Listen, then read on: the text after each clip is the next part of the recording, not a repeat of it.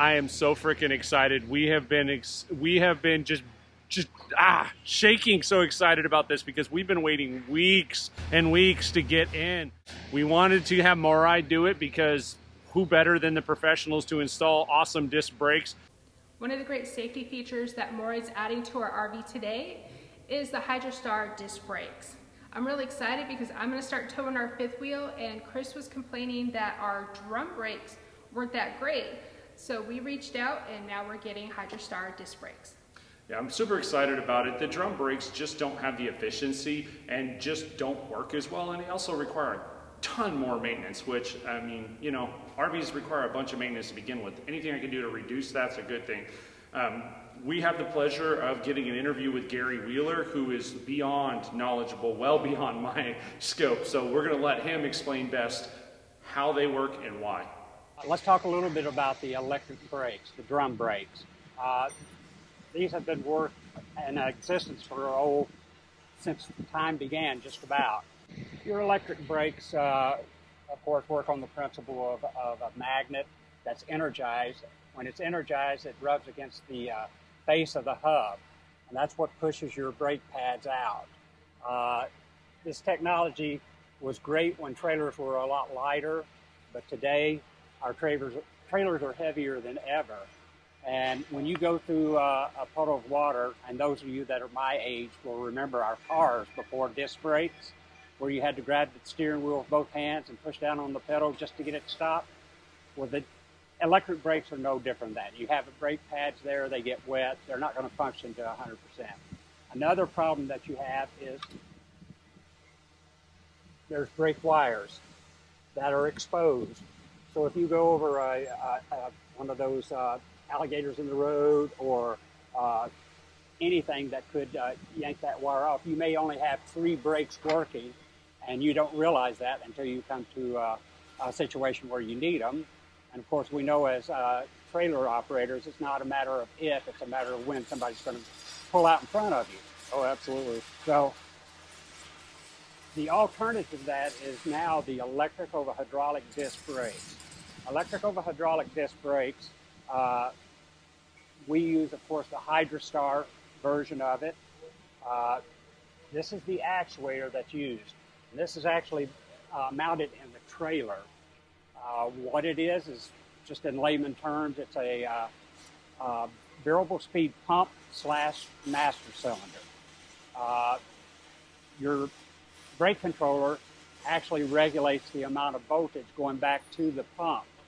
The more voltage going back there, the faster the pump runs, the greater the pressure. Uh, at a full 12 volts, this will generate about 1600 psi oh, of wow. braking pressure. And that's controlled basically by your gain on your brake controller and the, of course, amount of pressure you put on your brakes, right? Exactly, exactly. Uh, a nice feature about this, you know, with the electric brakes, when you're going through the city, you have to turn the gain down so they don't grab on you. Yes. And hopefully you don't forget to turn it back up when you get on the road. But you do have to adjust for road and city. Once you set the gain on the actuator, that's all you have to do. It's good for highway or city. Oh, that's It's nice. a much smoother stopping brake. Uh, of course, with disc brakes, you'll look at the difference between the actuator and then just a backing plate. From a weight standpoint, very light. Oh, from a hub and rotor, very heavy. You'll notice it's got a split rotor on it with yep. fins in there. That's to help it keep cool uh, under aggressive braking conditions. Uh, even without that, they would be so much cooler than your uh, your electric brakes because that drum just retains the heat. Right and that's how you end up with brake fade, right? That's a term that they use for the drum brakes. Exactly, exactly. So another nice feature about this is the brake pads themselves. You'll notice that has the red color on it. That's yep. ceramic. So we send them out with ceramic pads on them. And a really cool thing, if you have to change your brake pads, you don't have to look for an RV shop you don't have to feel in touch with Dexter. You go to your local auto parts store. That's a GM pad. Oh, awesome. And it came off of an old Buick. So There are cross numbers for it. Very, very convenient. Uh, from a stopping standpoint, uh, it will stop you in about a 40 to 60% shorter distance in a panic stop situation. Jesus. Yeah. Pretty amazing. Yeah, that's the difference between rear-ending somebody and having a really bad day and just having a high heartbeat. Exactly. exactly. So yeah, they're you really can't beat them from a reliability standpoint. Uh, there's fewer moving parts, and with this, from a maintenance standpoint, all you have to do is check your check your brake pads uh, once a year. Maybe pull the pins out, clean those, and put a lubricant in it. With the pads, number one, you have to go in there and clean out all of that dust. And we don't advise you using a uh, uh, compressed air to do that. Get a wet cloth and clean that out. Then you're looking at all the uh, components on it. Where are my brake shoes? How's my magnet? If you'll see here, there's some pretty excessive amount of wear on that magnet. You know what's crazy about that? We've only had this trailer since February. Unbelievable. Yeah. So you've got that much wear in that short a period of time. So I have seen them where the magnet is just almost gone. And it's really, really going to give you some very poor braking in that situation. Okay? Uh, so you want to check that magnet. I've got this upside down. So you clean all that, and then at all the moving parts, you want to put a good anti-seize lubricant on it. And then the next thing you want to do is adjust your brakes. Even though this has a self-adjuster on it, you still need to adjust your brakes. So you have to get a brake tool and go in here from the bottom side. So it's a very high maintenance item. And if you want them to work to the best of their ability, which is adequate at best, uh, you need to maintenance these once a year. So it's so much easier with the disc brakes. It makes it pretty straightforward when you got to deal with multiple moving parts, concerns whether or not they're going to function the way you want them to, and 40 to 60% stopping distance improvement. That, that's a significant safety feature. And I like the fact that the disc brakes aren't directional. I know that these uh, electric brakes are directional, so you do have to pay attention whether you have a left or a right. Absolutely. That could be a serious problem. Absolutely. And then common sense will tell you also by pushing the pads out versus clamping on disc brakes, Right. just a lot more efficient. There's Yeah. a reason why the manufacturers have uh, gone from uh, drum brakes to disc brakes on all their vehicles. Yeah. Yep. I guess you could look at it from like the human standpoint. If you were to try to grab something and push away versus grabbing something and squeezing as hard as you can, squeezing is going to be a significant more grip strength than trying to shove away from you. Great analogy, yes. Yeah. Yeah. And I mean, as you mentioned earlier, the weight of the trailers these days, 16.5 for ours. I mean, that's, I know they're adequate and they're, they meet the requirements of safety, but for us, we wanted the best of the best. And, you know, that's where the Hydrastar really was a must for us. And Martha wants to start towing more again and actually start towing the fifth wheel. And she's like, I need to make sure that I can stop when I need to stop.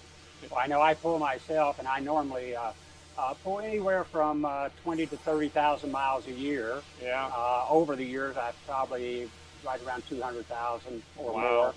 Uh, it's uh, prior to the uh, disc brakes. Uh, if I saw a stoplight coming up, I would start slowing down about three miles away, just knowing that it's going to wait until I get there and turn red. Right.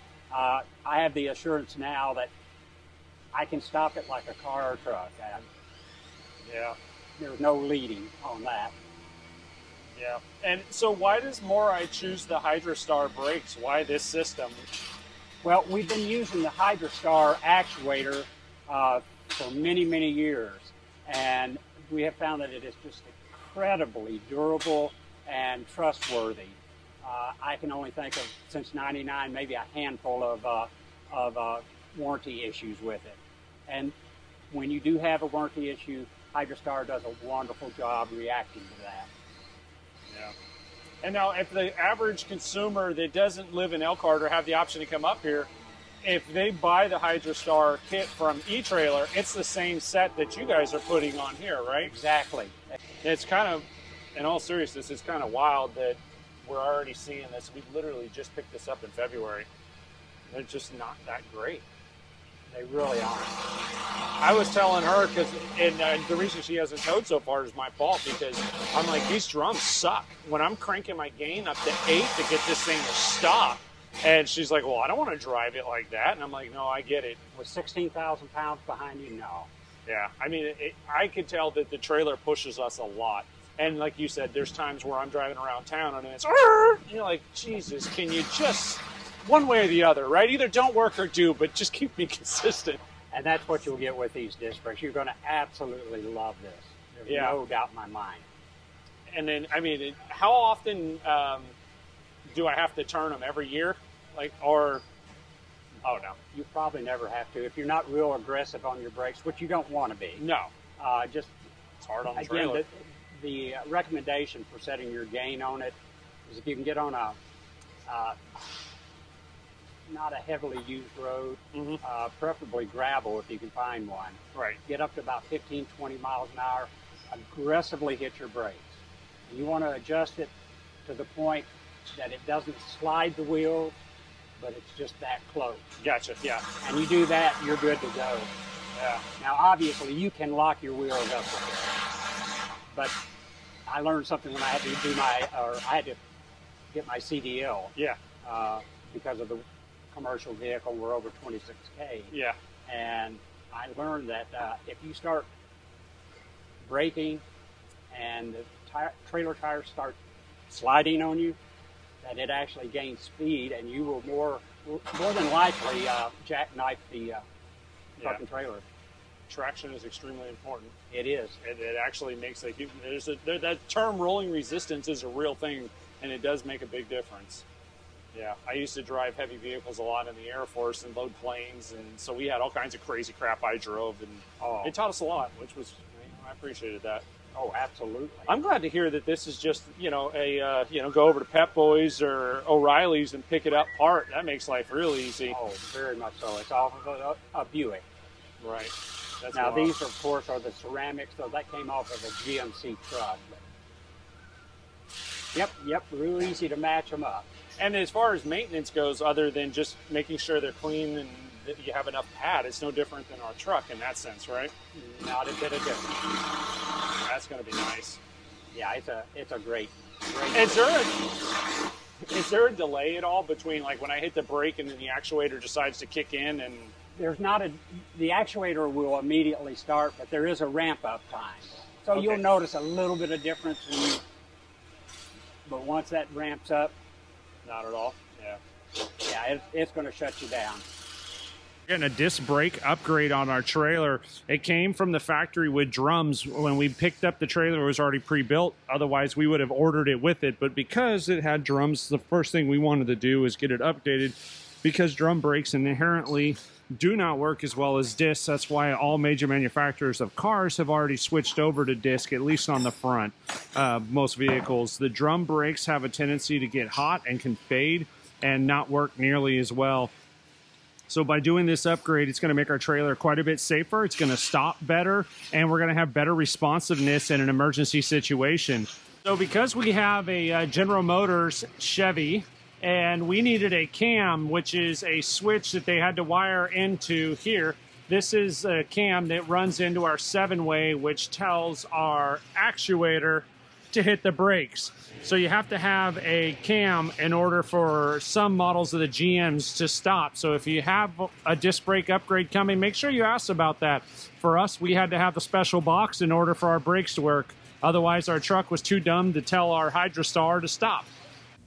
We just want to thank MORryde and Hydrastar for these wonderful upgrades. We're really excited to get on the road and test these products out. And these things are going to make our trailer perform better, be safer, and make it a lot less maintenance while on the road. So we're super excited. I can't thank them enough. Both MORryde and Hydrastar did a lot to help us through this process. And I'll tell you, they're incredible. If you get a chance to come out to MORryde Service Center and you want to make some upgrades, if you decide you want to do a Hydrastar brake kit on your trailer mm-hmm. and you don't want to do it as a DIY, I can't recommend it enough. I mean, MORryde was on it. They had it done in a day with all these products we're talking about in and out one day.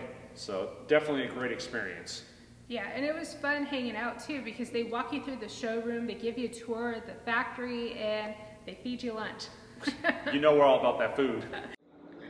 This is where they service your RVs.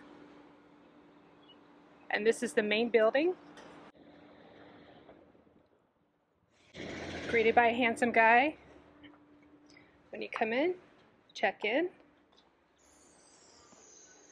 They have restrooms for you. And a nice lobby.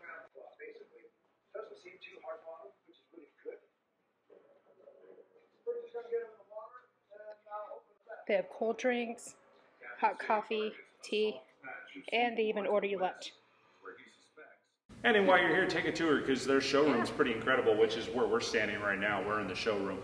Yeah, It's- and they have the latest and greatest products here, stuff that's not even out yet, and it's yeah. awesome. And, it, and just know that when you come to their showroom, it's not like if there's a sales guy or gal in here doing high pressure sales. This is just like, hey, look at all the cool stuff we make. Yeah. And we're like, oh, add to list, add to list. Yes. but if you want to know more about these great products and services, we're going to link it all down below for you. Yeah, and most of the items can be purchased directly through either Hydrastar or e-trailer. Um, and if you come in person to have your truck or trailer or Jeep or side-by-side worked on, you can do it directly at the MORryde Service Center and you can buy directly from them. Yeah. Thank you guys for taking the time to watch our video. We appreciate you guys so much. Don't forget to like and subscribe. I know we say that on every video, but it means the world to us, and that's what gives us the opportunity to keep traveling. So it's free to you and it's the world to us. So please give us a thumbs up, shoot us a comment. And if you have any of these awesome products, let us know what you think. And if you have questions, always ask. You know, we respond to everything. Thank you for your time. Yeah, and don't forget we're on TikTok, Instagram, and Facebook too. So yeah, see us on any of the platforms that you're on. And other than that, have a wonderful day and enjoy every moment.